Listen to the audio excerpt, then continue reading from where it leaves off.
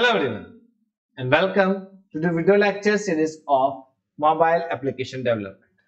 Students, in our previous session we talked about that what do we mean by the shared preferences, what are the different mechanisms to store the data in the Android like internal storage, external storage, SQL database, shared preferences and the network APIs. Now, in this video we are going to learn about the shared preference example 2. So what is that? What we are going to learn? Let's see. Hi, this is our instructor Janice Shah. Students, in this today's session, we are going to make a screen which contains like this is the enter user details. Usually we have seen that whenever you try to log in or in your anything, any application, then you just write a username, password and one tick mark is that like remember me. Students, this remember me is nothing but when you click on the remember me then at the time the data is stored in the shared preferences. So whenever you get back to your application this data is already there. So what we are going to do that we are going to when you if the user click on the remember me and click on the login then he can see his name and age on the welcome screen. Otherwise the name and the age will not be visible to the user. Fine. So this is another example of the shared preference where we are going to learn how can we apply the on click event on the checkboxes. How can we get the checkbox value true and false? How it works? Let's see with the practical example.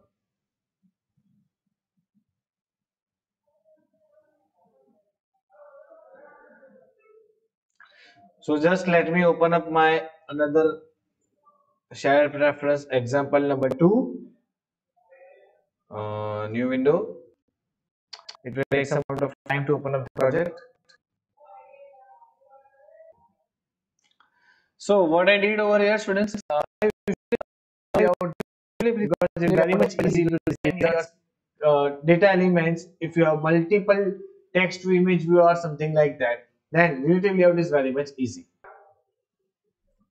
so uh, inside the in the relative layout students, I'm going to take one linear layout which contains one text view, one edit text, two different edit texts are there, one checkbox is there. See, this is my design. Let me show you.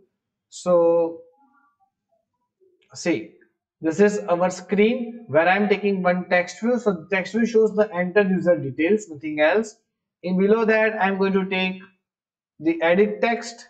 Okay, so the edit text which contains the data like to enter the age, enter the name. So this is enter name, enter age. Next on the below of that, I'm going to take a checkbox. This checkbox has like ID like checkbox ID and the text is the remember me. So remember me is nothing but it's a text of my checkbox. Okay. And the below of that I have one button so this button contains the wrap content, height is also the wrap content, the ID is the login button, text is the login, text size is 15 dp, the background color is already given, layout gravity is center and the margin top is 4 dp. Now let me just show the whole code again. What I did, I just take one relative layout, inside that one linear layout is there. See, I just want to set the data in the vertical format. That's why I take uh, orientation is vertical. Okay. So the linear layout width is match parent. Height is depend on my view components. Here, that's why I take layout height as wrap content. Fine. Next, the layout center in parent is true. Okay. So each and everything shows in a center in parent method. Now, on the below of that, I take one text view. The text is enter user details. Text size is 30 dp layout gravity is center, text color is black. Within that, I taken another edit text, edit text with the name, like a hint is enter your name please. This is a hint, okay. Input type is text caps sentence. That means whatever you try to write down, it will be written in a caps format. Now, the Android ID is name edit. This shows the edit text with the name. Then the text size is 15 dp. Now edit text with age. The ID is given age edt. Checkbox ID is checkbox. button id is login button so this is my very first activity underscore main dot XML file now let me design the another activity so what i need i just need to show my data over here so this is my text view obviously it's a welcome so inside the data layout i'm taking a text view. Text size is welcome. See it is not necessary to give the id to the welcome text view because we do not have any work with that. So i just keep to give the id to that. Okay. And the next we have the next text view. So students the next text view what we have? The layout width is match parent. Layout height is wrap content now the text size is 25 dp text is name and the margin is 10 dp id is name text view. So instead of the name you are going to see your actual data from the shared preferences. Okay. Now next we'll take i1 text view. So text view the layout width is match parent height is the wrap content text size is 25 dp margin is 10 dp text is age and the id is age text view. Now next what we have we have the button button is the logout button the id is logout button itself and layout gravity is center. So my both screens are now ready. So now what we are going to do is we are just going to apply the logic we can say the backend logic for that. So my first task is to open up the main where I just need to create a shared preference first. Okay. Then after creating the shared preference, what I'm going to do is I just need to make it in a editor mode okay? Put the values okay? Put the values in which uh, like two values are there the name and the age okay? So first i need to get the values from the user okay? So for that I just need to bind my edit text button checkbox and set references all are there. Now this is a code to bind the data okay so just name edit is equal to find view by id r dot id dot name edit login button, map the checkbox, map the age edit button from the Java to the XML file. Now what next? Next, I am going to take a boolean that is known as is remembered. Okay, so this boolean is a nothing but it works to get the value that if you check on the students, if you click on the remember me button, if you click on the remember me button, then it will return true, otherwise false. So this is remembered is just a variable. Okay. So what i did first i just going to create a get shared preference name is shared underscore pref. Okay. The mode is private. Fine. Now the next is remembered is equal to shared preference dot get boolean. First you just need to take the values. If user click on the checkbox then and then you need to set the values for the name and age okay? So checkbox is a key. Default value is false. And then is remembered is stored. So i also took the is remembered is equal to false. If you don't write want to write it over here then it's also fine. So is remembered is here.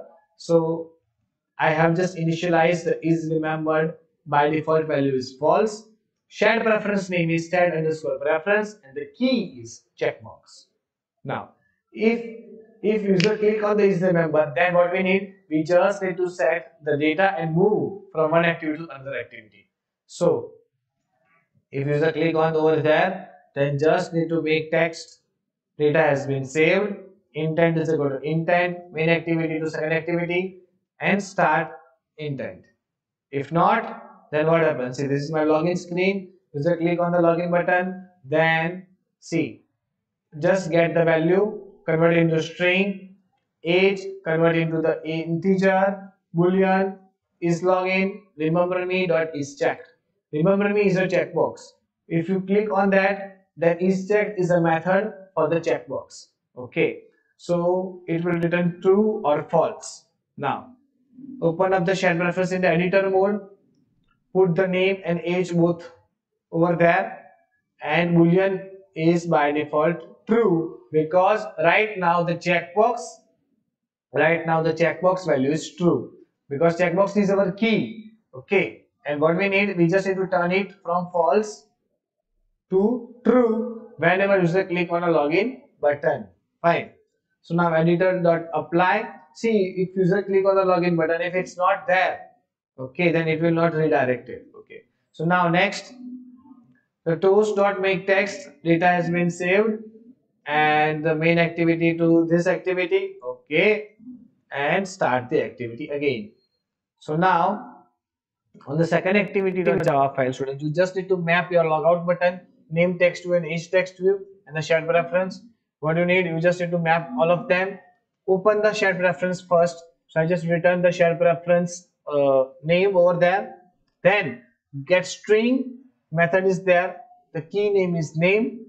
Okay, default value is nothing. And set this name to the name text view get the age by calling the get int age is our key and then set the text over there next when you set click on click listener button students the logout button when you click on the logout button then what you need you just need to open it in the editor mode and clear all our shared preference data and apply this is just usage of the clear nothing else because you have already settled to the side reference over here. So whenever I click on a logout, the, all the shared preference data should be cleared.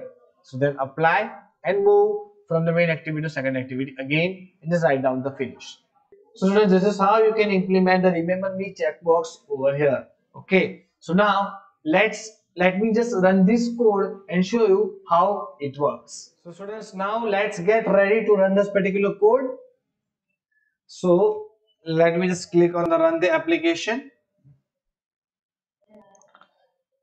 my phone is connected okay so let's take Gradle build first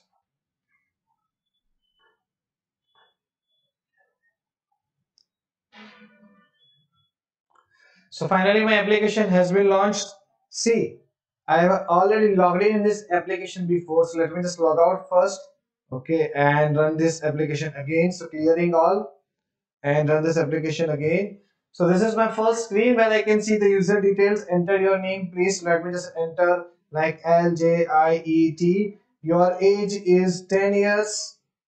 Okay. Now click on the login button. Okay. So when I click on the login button, students, you can see the LJIET and the 10, both of them. Fine. Now let me just uh, close this application and open it again. So it will redirect you to the enter the user details. So like Janice age is 45 and click on the remember me and the login. So now the data has been saved. Okay so this is how students it works. So when you click on close the app click on the application again and you will get the same screen because now the shared preference has been settled and login window will not be opened. Fine so login window is open. No it will just redirect you to the logout window or i can say the welcome screen. So now when i click on the logout now it will redirect you to the main activity now see show you again. This is a Janice. This is 44694 let me click on the login button. So data has been saved. Okay. So now let me just clear cache memory. Click on over here. See you will redirect to the login. Why? Because what the code we have settled over here that if if your share you click on the remember me then and then you can directly uh, enter in your application. But right now i need to click on the remember me. Now let me just uh, click on the remember me again. So it's L J I E T.